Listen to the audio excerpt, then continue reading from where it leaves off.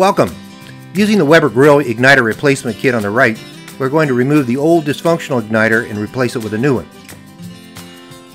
The instructions in this episode apply to Weber 310 and 320 Genesis series grills.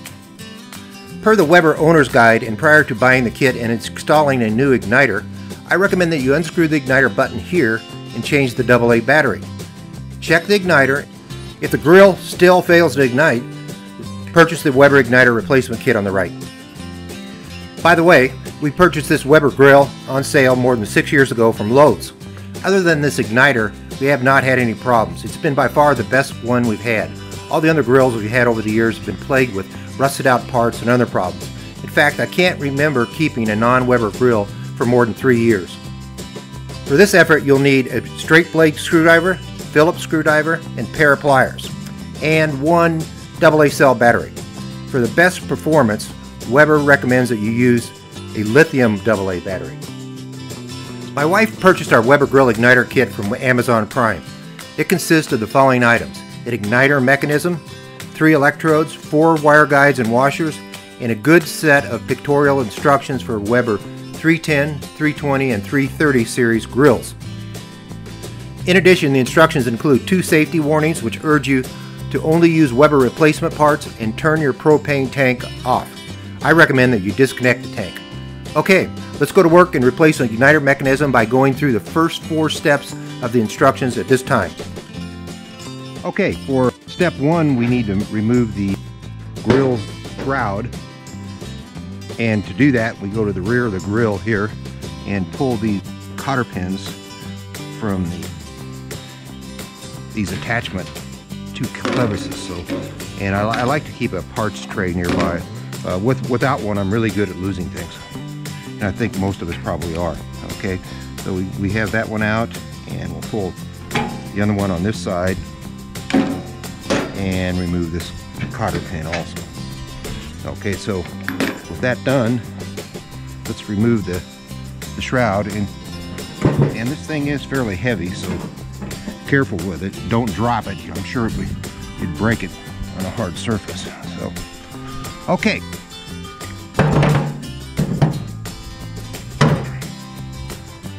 Okay, the shroud is removed. Next, we'll pull the warming rack off. Remove the left and right grates.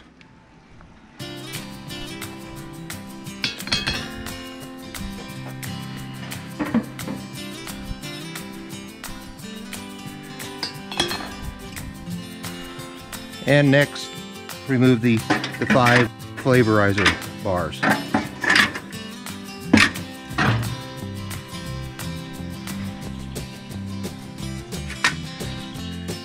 Okay, next we move, remove the uh, left and right doors.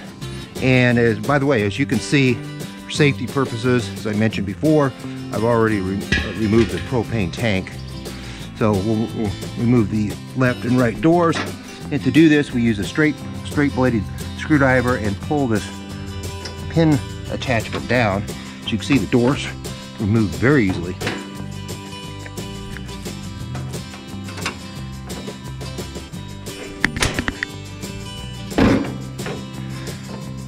Okay, so next, we go under the control panel to the wind deflector and remove these two Phillips screws.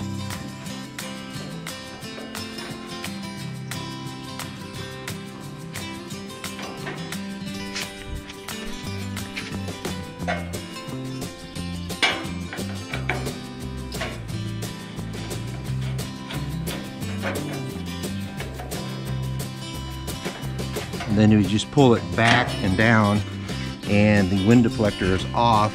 And this gives us access to our igniter panel or, our igniter unit.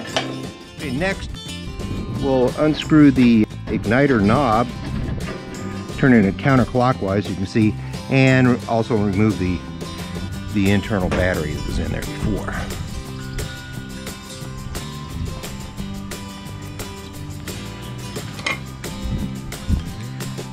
And remove this plastic nut holds it in place.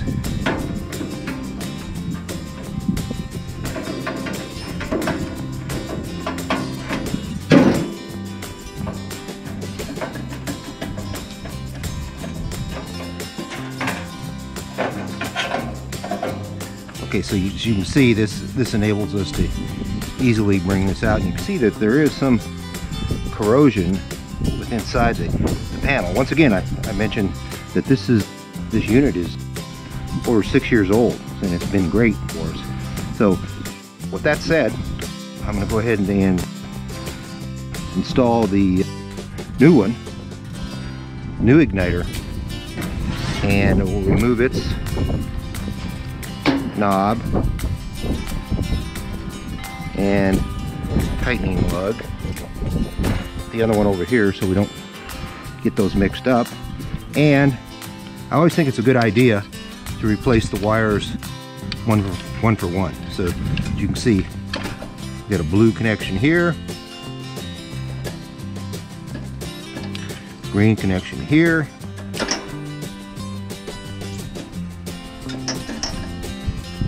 black connection here and yellow here. And all of these went into the appropriate colors with the exception of the, uh, the yellow connection goes into like a, an orange receptacle. Otherwise all the other ones are pretty straightforward. And we'll, we'll slip the box. Notice that the the box goes in like this with the, the flat portion of the threaded surface. Going into here. We'll tighten this up.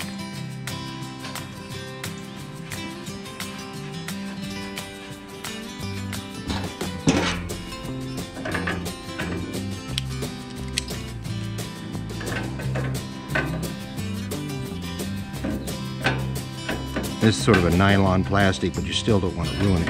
You do want to get it nice and snug, snug because you don't want to uh, have the thing go loose on you again. And lastly, we need to insert a, a battery in there, a double A battery, which I have over here in my, my box. And in this case, the positive side goes down per the instructions. And we'll screw the igniter knob back on. So that completes the, the changing of the igniter panel. Let's go ahead and uh, install the propane tank again and test it. Okay, so I've got the propane installed again. So let's turn it on. This time, I'm gonna go ahead and turn the knob and we'll try burner number one to see if it works.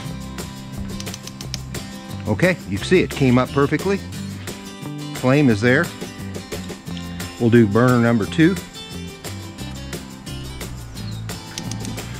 Flame is up perfectly.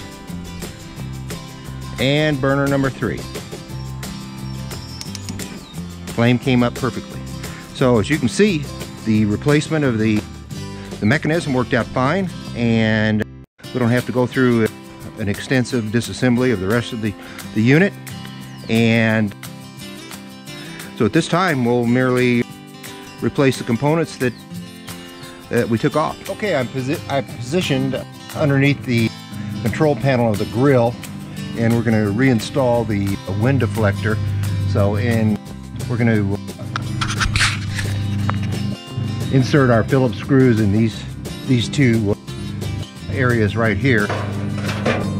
We'll slip this in here, line these up, and we do have it lined aligned right and we, we inserted, we also inserted this with the flanges in position here.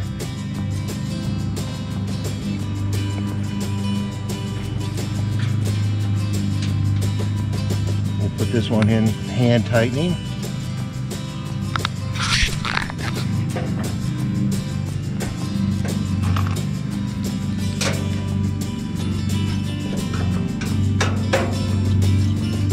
Okay, that's good there. And the second Phillips screw over on this side.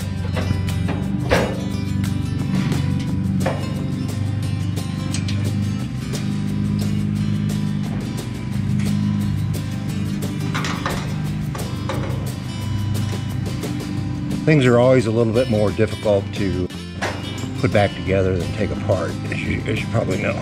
But we're lying there. And we'll tighten this side.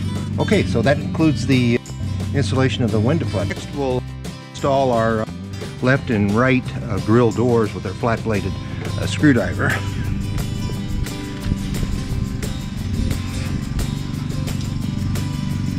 And get into position here.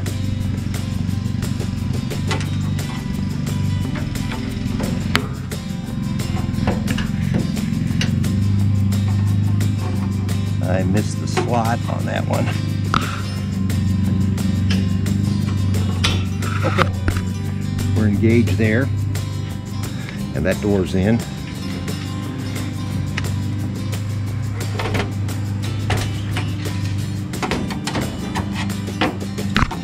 And as you can see, the, the hole is right here. So we'll pull this down, take it up, see it coming up through, and we're engaged. So the doors are reinstalled. Okay, I've just installed the five, reinstalled the five flavorizer bars, and we'll do the left and right um, grill tops here.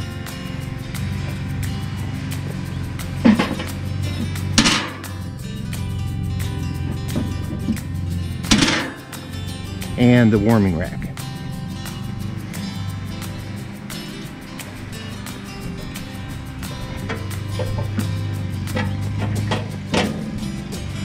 Lastly, we'll install the grill, grill shroud.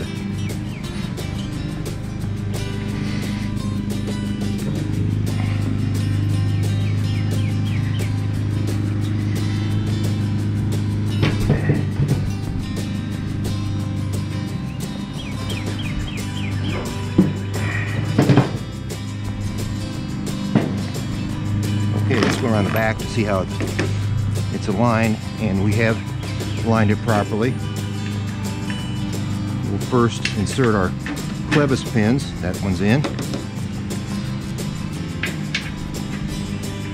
And our second one, it's in. And our two cotter pins. That one's in. And that cotter pin's in.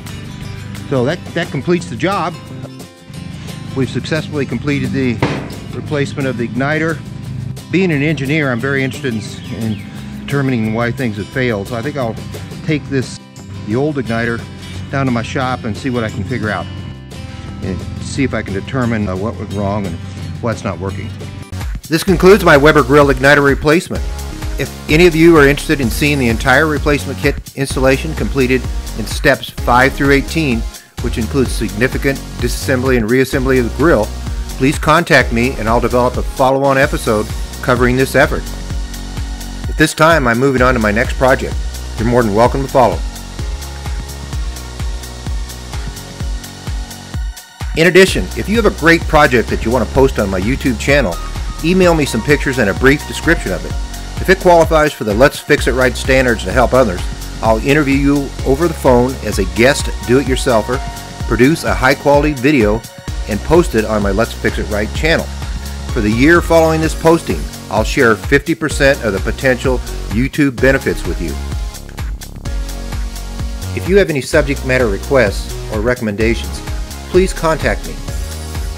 All of this said, I recommend that you subscribe to my channel, follow my projects, and save a bundle of money doing it.